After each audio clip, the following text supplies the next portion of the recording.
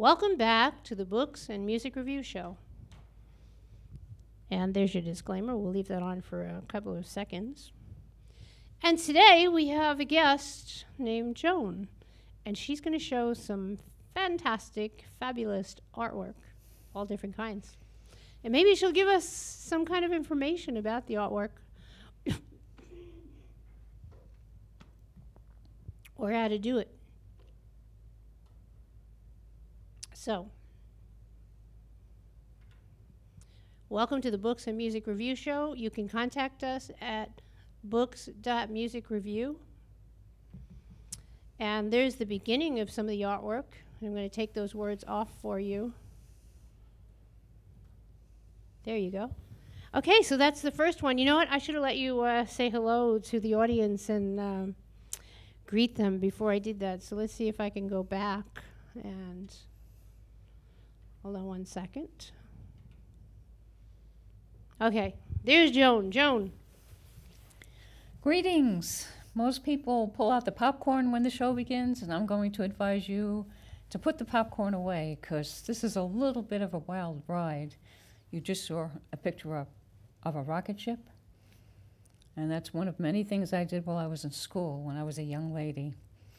And because this rocket ship's going to go blasting up in the air, we don't want you getting seasick as you try to maneuver your popcorn and watch TV. So, why don't we begin with the first picture? This was Cape Canaveral. It was in the parade section of the newspaper, and I took a photograph and I did my own little determination of what I saw through my eyes. And here we go, a blasting off, boom, into the air, and it is gone. So what happened was, every time I could get a good, interesting photograph, I would try to copy it.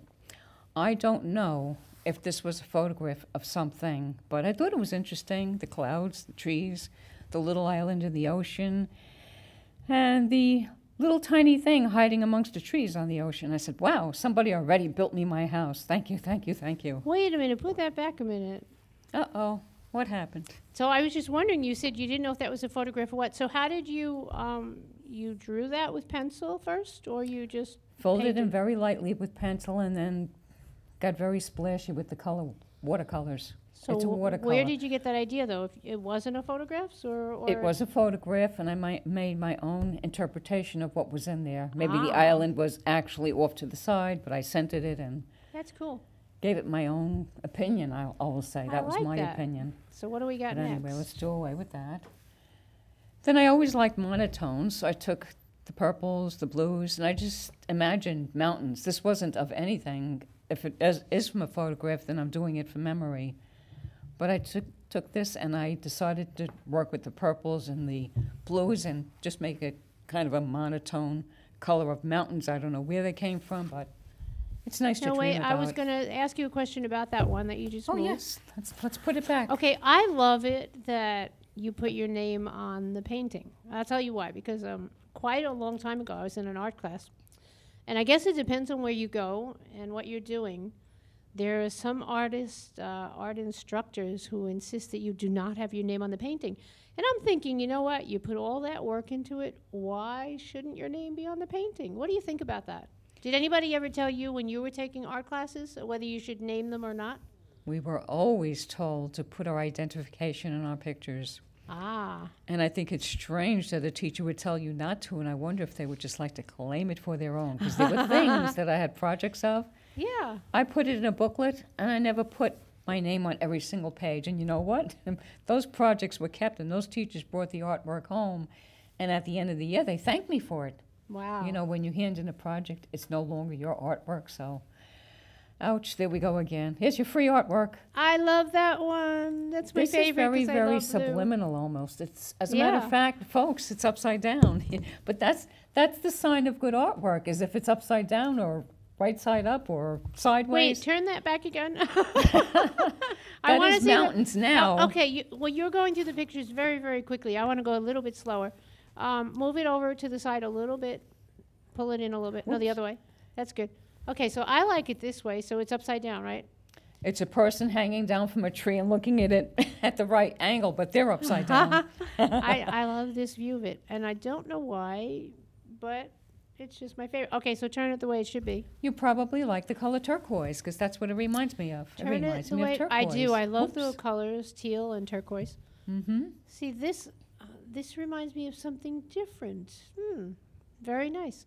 Uh, when did you do this painting, and why? Oh, so long ago. This had to be back in the '60s when I was still in school, or maybe this just is a out of 60s school. painting. Oh, so we're talking, we're talking 50 years or more ago here. you know what? Name on the front, date on the back.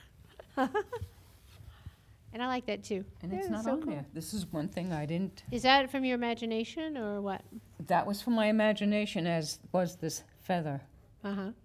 The feather. I just felt like white and blue and almost like a Mediterranean, but and a, it a lighter. looks uh, kind of purplish too. and that dark feather, yeah. And then I said, you know, don't even, don't even fill the feather in because there's things in the background that I really, really like. It kind of reminds me. I know it. this is ridiculous, but it kind of reminds me of like palm trees, like a feather made out of palm Okay, okay. Well, kinda it, cool. it's supposed to be a quill type of a Yeah. pen. Mm-hmm. And as you could see by this little corner here, I didn't plan quite well because that's missing. When So did I- you do this one? I didn't get the, oh, this is about the same time as the other. And I what guess is this? This is also watercolor. it's watercolor, yes, but it's very, very thick watercolor. Most people work in watercolor, you can actually see the water Mm-hmm. kind of coming through, and I didn't do that. I, thick, thick paint, Mm-hmm. terrible. And Wow. Any medium is suitable. So I used to work in pencil. This is a pencil where I rubbed out the background Mm-hmm. and I gave it a little bit of a dark background showing the church at night.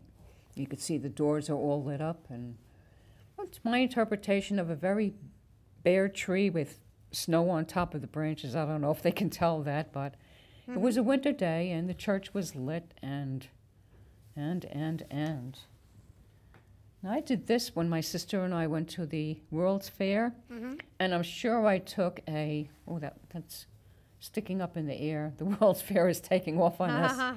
This was called the Unisphere, I remember and we went we went to see this, and it was right out there in front of everything. You couldn't avoid it. You went to the World's Fair. This is what you saw, and I remember getting the postcards. Back then, folks, postcards were five cents each and three for a dime. Now you're lucky if you could get them Now, for a before dollar you each. pull that off, uh, you, you should not Yes. pull them off till I ask my question. Oh, okay.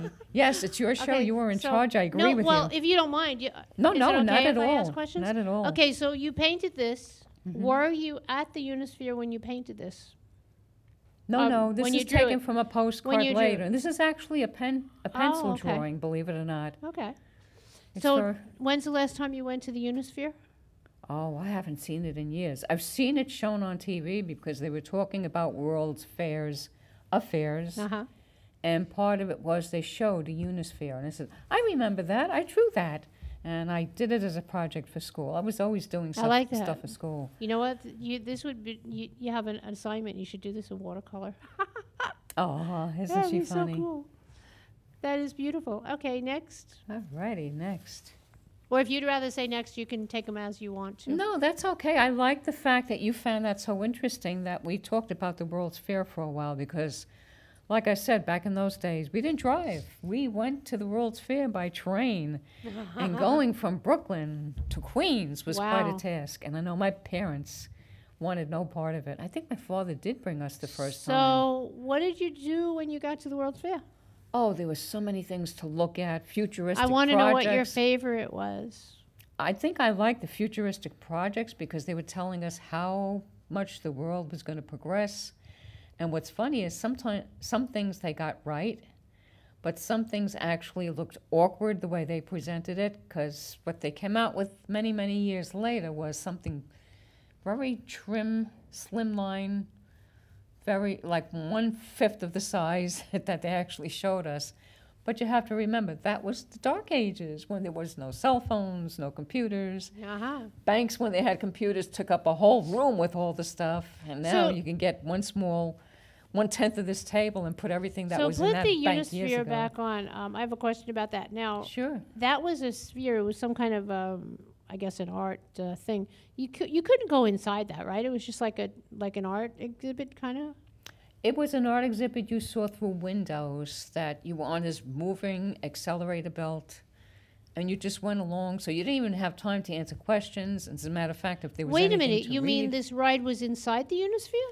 This, no, no, no, this was inside the World's Fair. Because the Oh, Fair okay, came okay. first to show you, here you are, this is Uh-huh. the World's Fair, here's your global unity and all this other stuff. Mhm. But then they had all these mini projects inside.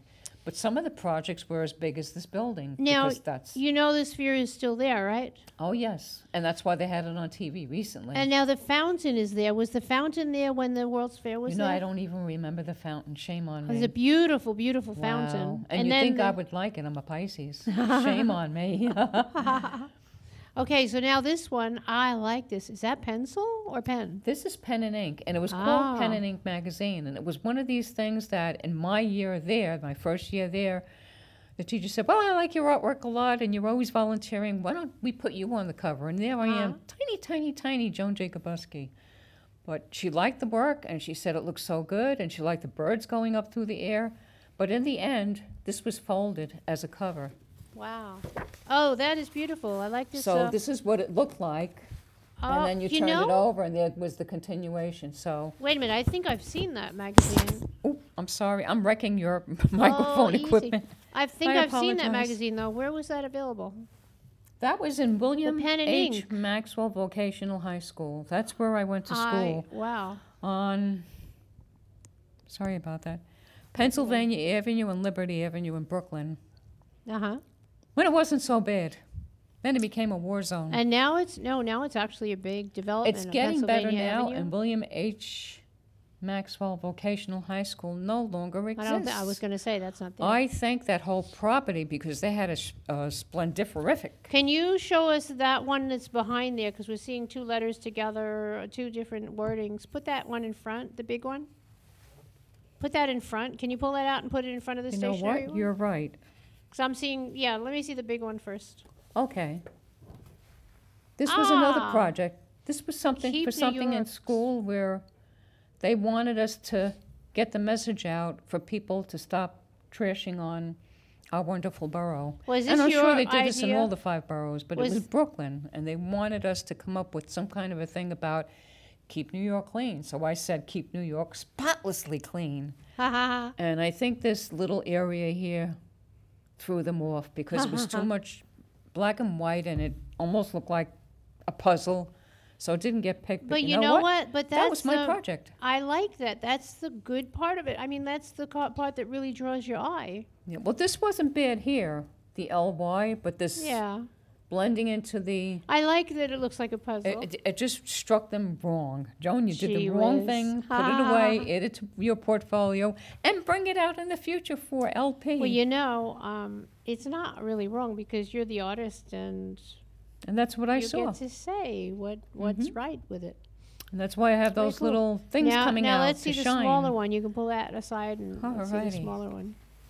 Get over there, New York. Ah, oh wait, you have another one big in the back. Pull yep, the big that's one right. out, and we'll see Joan that. does not- We'll eventually get to this small one. Joan does not know how to set up her stuff.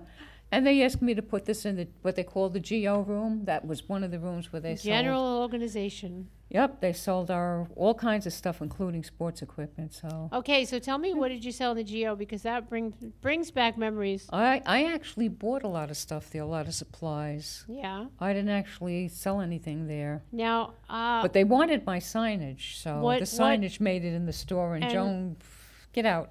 Thank you for the sign. Get out! what No, was I'm the name of that? Uh, This is another pen and ink. I used No, to work no. in India Ink. the name of the school?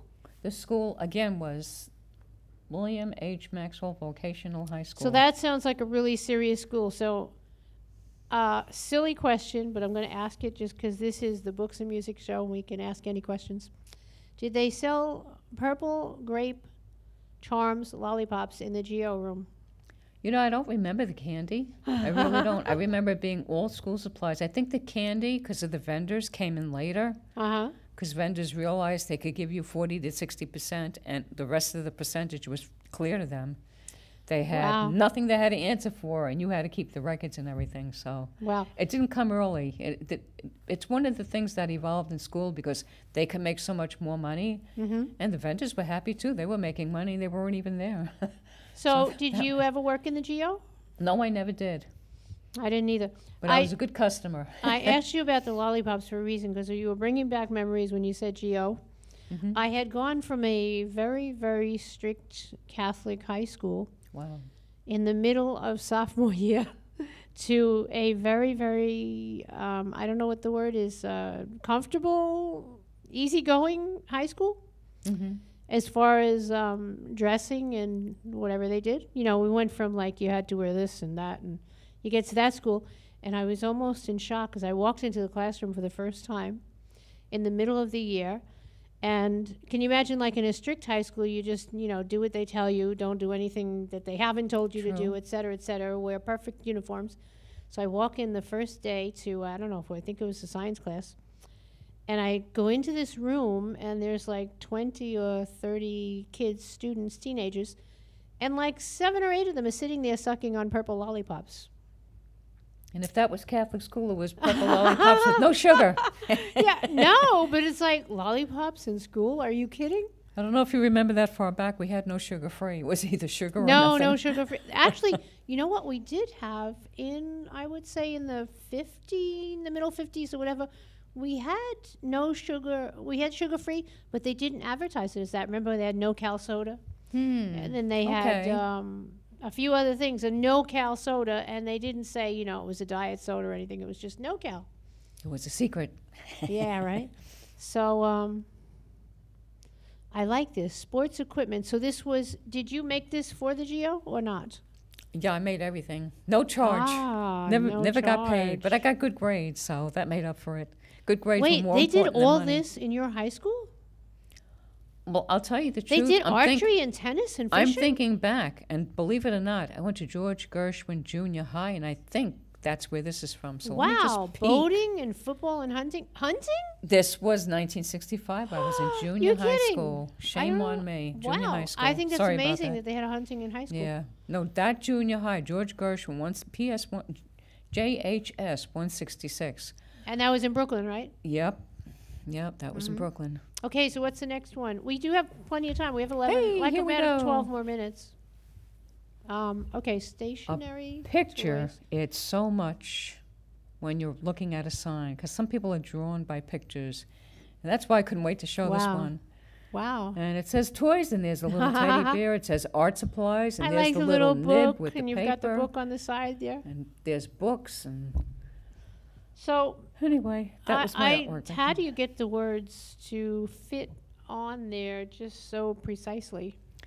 Everybody that has a brain in their head uses a ruler and a pencil, and they just erase later. There were lines under there, Oh. otherwise they would not be so straight. The other thing is a light box. You could put the lines behind the paper on the light box and never have to do any pencil lines because oak Oh, really? Yeah, Oh. oak tag. If you erase the shiny side, it will show that you erased something. Oh. That's interesting. Wait a minute. What do you mean if you erase this? if you shiny side? erase on oak tag and it's on the shiny side, you will have those erasure marks show up because Yeah. it takes away the shine. Yeah. You're erasing, yes, your pencil lines. You're Uh-huh. also erasing the sheen that's on top of that oak tag paper. Ah. Yeah. Okay. I found that out the hard way. What is is that? This sign here. What did you do that on? This is on plain, it's, it's like a Bristol paper. It's Okay. not Bristol board. There's Bristol board and then there's Let me see Bristol the one paper. all the way in the back, the big one. This pull it- one? No, pull the big one out. S- Yeah, Which pull big it. one? the one you have in your hand. This one? The one, yeah, that one. Tell me This about that one. Yeah. I just fooled around with triangles. I had the triangle shape and I was just doing all kinds of angles. And I think the only What do you? right angle is that one right there. I think all the rest are obtuse or whatever they used to call them. Ah, But I used to love to fool around with geometrics, what you? shoving one angle inside of another angle. And then to make it more complicated, you can see some of the one in the background with the points. I used to love to dabble in pointillism. and why was that, Joan? Because pointillism took hours to fill in because you were doing it dot by dot Mhm. by dot. And when my friends saw me working so slowly on these other, they're in the background, you'll see them soon. What did you do this one on? This one was also done on that Bristol board. You can actually tell by the now, before you take that away, so uh, what do you know about triangles? nothing much. I forgot most of my geometry. Do you know about triangles and building and construction? I know they used a triangle a lot. Why? I have no idea. I'm going to tell you. You're asking the wrong person. Thank you. I'm going to tell you only for one reason because there used to be a show on that I absolutely loved. It was a kiddie show. I guess it was made for kids, but I always watched it. Well, I had kids, but I love the read. It was called Reading. Was it Reading Rainbow? Do you remember a show on uh, Channel 13? It was where they would read a book. Reading Rainbow sounds nice. I like that. I forget what the name it is. Something to do with reading, and they would read a book. And one day, they were reading this book about construction, and they told me a trivial fact that I didn't know. And they said in construction, whatever you are building, whatever, whether it's a building, a wall, or a chair, or anything at all, if you don't have the triangle, the thing will fall apart. So that's kind of interesting. It's like everything that we have has triangles, and the triangle is what makes the whatever it is you're building strong. And then there was the Bermuda Triangle. Oh, that's bad. I had to that throw was bad. that I started coughing. No, that was good. I was. Go ahead, go next. The same idea, but without so many triangles Ah. to show you the different colors running into one another. Uh huh. I mean, if you really look closely, you can see. And you did not The do this yellow in in math and the class. You green. did this in art class. I actually did these at home. I didn't have time in art class. Oh, I would okay. have spent the whole weekend locked up in the school if I had to do this one especially and get it done because it takes hours and hours at dot, dot, dot, dot. I'm surprised I'm not Wait a blind minute. by This one is done by dots. It's done by dots. You can see the Yeah, I little can tiny see it. dots in there. Yeah. And they I kind of like that. blend into one another. And that's what I was like trying to do, get the colors intermingled. Very so you can nice. see it's one big happy family of triangles. So, But, um, when you were a kid and you went into school, what in the world made you interested in art? What attracted you to that? Believe it or not, I saw cartoons that were drawn, and I Ah. said, Those are funny. So not only do they make me laugh, but it's also considered artwork. I started copying cartoons. And my art teacher, the first time she caught me doing that, got very, very angry. I took a picture Look at the camera. Hey, Joan. something funny. Hey, Go ahead. I took a cartoon of Khrushchev and I copied that, and Uh-huh. it showed him profile like Alfred Hitchcock, and the, I wanted to stress the big tummy. Wow. And she just thought it was so great. She says, Why are you copying pictures? Make your own artwork. And I think once I started getting into the geometric thing, I think they must have been very disappointed because I stopped people. I stopped drawing people. and I started getting into everything else under the sun. Mm-hmm. So, with that, I think we should take these away so you could see some other real artwork. And here's one where I took a pen. And you can Ah, see that's where it has nice. water stains. I did have a flood That's really cool. in my home and I ruined some of my artwork. Not on purpose. Maybe somebody else would like to have done that on purpose, but not Uh-huh. me. But you can see the strength of the cross hatching and the wavy lines in the mountains.